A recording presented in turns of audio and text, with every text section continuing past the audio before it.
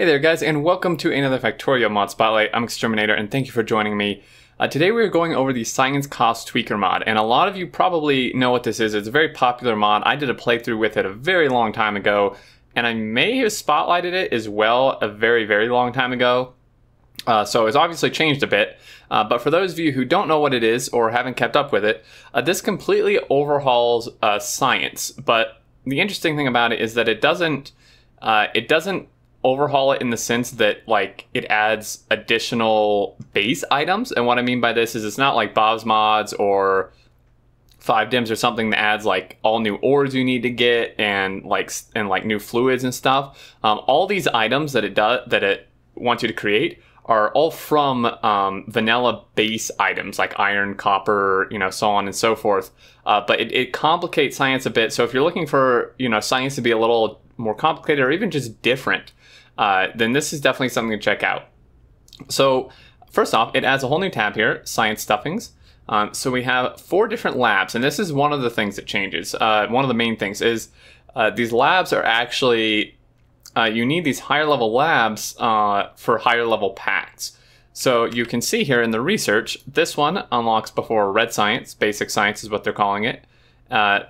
And then this guy unlocks before green science, and then this one before blue science, and then there's one last one that unlocks before yellow science. So then, uh, my understanding is you don't need like, you know, you don't need like this to only do like like it's not as if yellow science only goes in here, blue science only goes in the blue one. So it's not separate. You don't need one of each tier.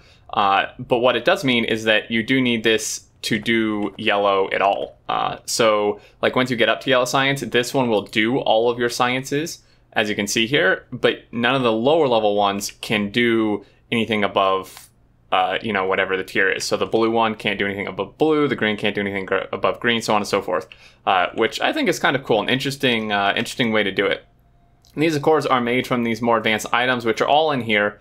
Uh, you know, so like this thing, uh, and these are expensive. I mean, these are very expensive. And you can see here, this is 20 circuits, uh, 20 red circuits, and a femto laser array. Uh, not to be mistaken with the laser defense, it does use the same icon. Uh, but this, you know, takes chemical laser flash fuel, femto laser foresight, 4 4C, um, femto laser emitters, and water. Uh, you know, and all these items can be found here. Now, this is just iron and copper. This is heavy light and steel. And uh, then this guy is iron, copper, and circuit. So again, it's not adding any new base items.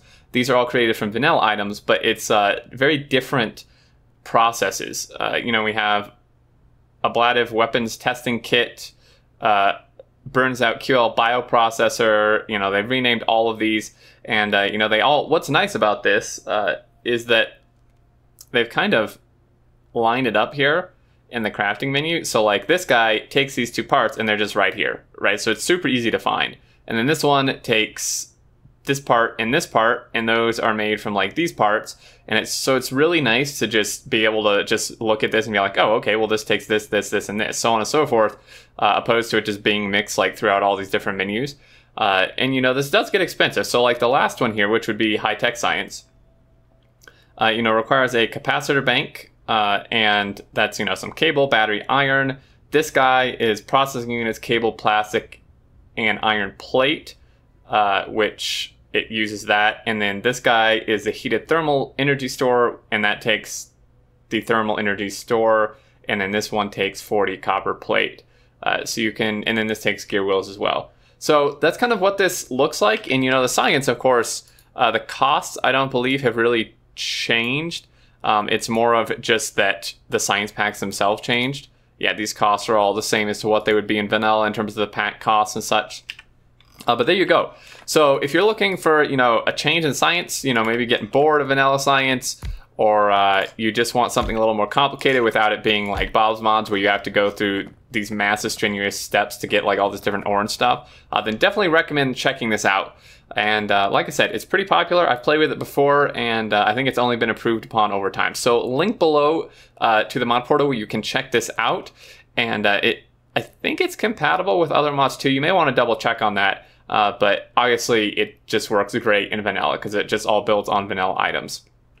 So there you go, guys. As always, thank you so much for watching. I hope you enjoyed and found it helpful. If you're uh, have any thoughts, leave them down below. And until next time, I look forward to seeing you all, and do take care.